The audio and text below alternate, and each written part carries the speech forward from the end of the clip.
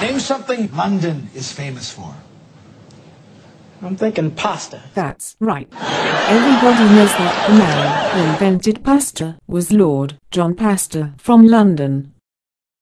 He became the idea to create pasta while he was looking at the railway map of London. Also Ben Pastor is placed in London. The clock of Ben Pastor does not work with battery or power. It works with pasta.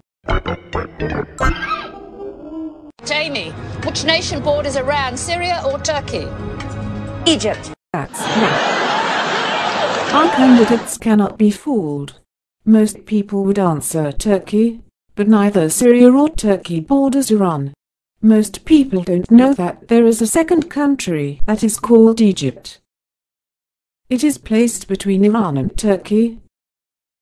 Most people would be fooled, but for our candidates, this is absolutely basic knowledge. Tell me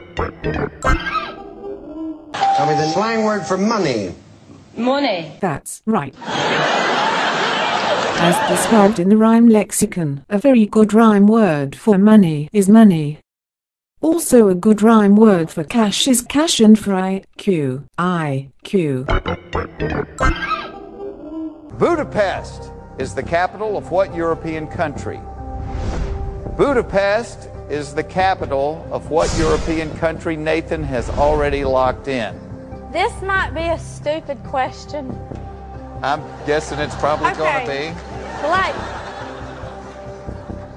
I thought Europe was a country. That's right.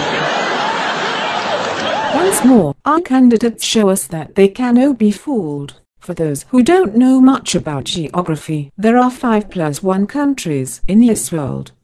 Europe, Asia, Africa, Oceania, America, and Antarctica. But the trophy for the most stupid answer on a TV show goes not to a candidate, but to a TV channel. The number 1. What nationality was Alexander the Great?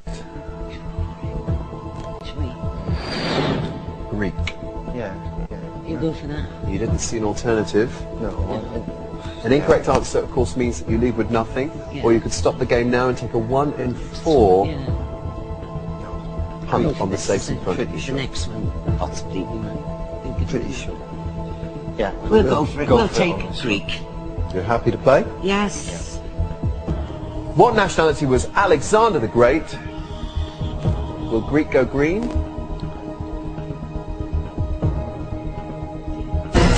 Oh. I can tell you he was in fact Macedonian. He was born in Pella. That's right.